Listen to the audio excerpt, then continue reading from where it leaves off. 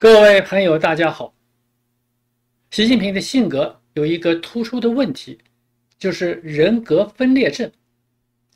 一个典型的例子呢，就是习近平不停地强调人们讲政治，要旗帜鲜明地讲政治，而习近平自己他却完全不讲政治，他是一个彻底的实用主义者，或者说机会主义者。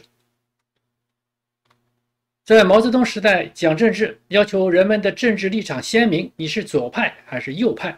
你是支持左派还是支持右派？必须要表达你的立场。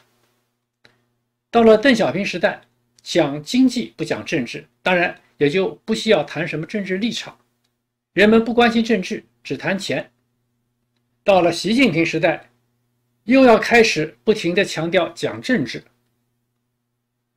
习近平在各种讲话中。都不停地强调讲政治的重要性。习近平说：“历史经验表明，我们党作为马克思主义政党，必须旗帜鲜明讲政治。什么时候全党讲政治，我们党就风清气正、团结统一，党的事业就蓬勃发展；反之，就弊病丛生、人心涣散、丧失斗志，各种错误思想得不到及时纠正，给党的事业造成严重损失。”说到讲政治，必须要有明确的政治立场，明确支持什么，反对什么，这才叫讲政治。如果不亮出自己的政治立场，两边讨好，左右逢源，这就不叫讲政治，而是实用主义、机会主义，有奶便是娘。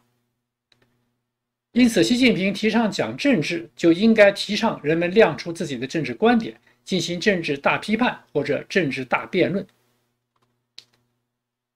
毛泽东的文革时代，发动群众展开各种大批判，这是毛泽东讲政治的典型表现。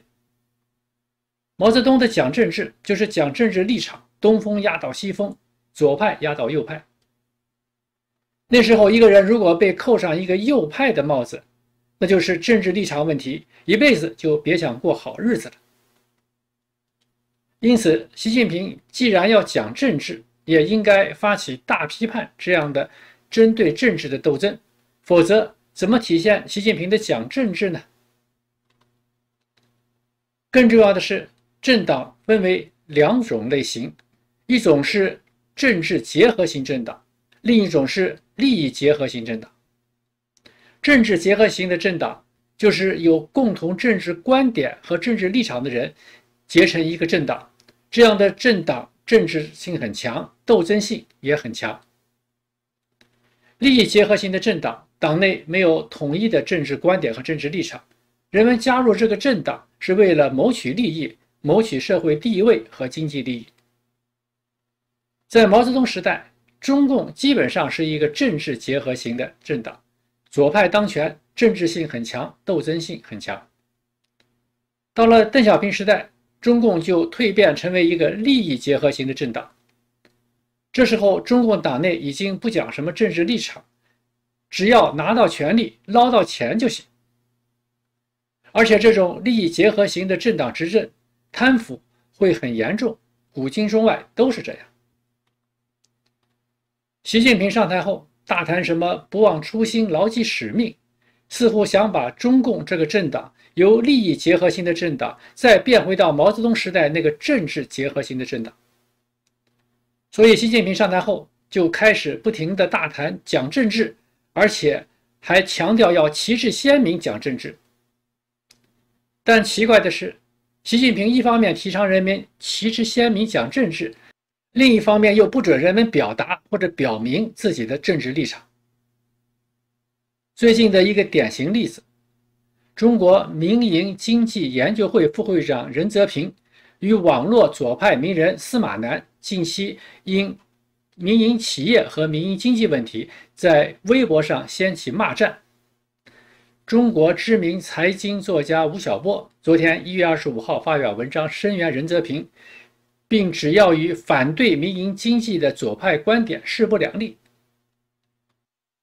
按照讲政治的标准，北京官方应该进行政治表态，支持哪种观点，反对哪种观点。这才是旗帜鲜明的讲政治。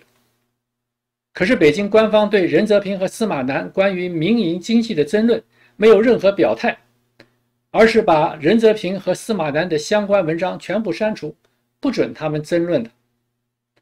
之后，支持任泽平的吴晓波的文章也在网络上被删除。也就是说，北京现在对政治问题的态度是不争论，而且还是不准争论。大家都知道，对政治问题不争论是邓小平发明的专利，因为邓小平本来就主张“白猫黑猫抓住老鼠就是好猫”的实用主义立场。邓小平从来也没有强调过要讲政治，一直是把发展经济放在最优先的地位。所以在邓小平时代，对于政治问题不争论是很正常的。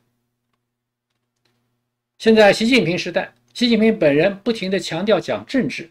而且还要旗帜鲜明地讲政治，可是真的遇到政治问题，习近平马上又缩了回来，不允许人们对政治问题进行争论，当然更不许进行政治大批判。最根本的是，习近平不准人们有政治立场，不管是左派的立场或右派的立场都不准有。所以在习近平时代，那些立场鲜明的左派人物不吃香，立场鲜明的右派人物也都不吃香。习近平需要的是完全没有政治头脑，只有两只手给他干活的人。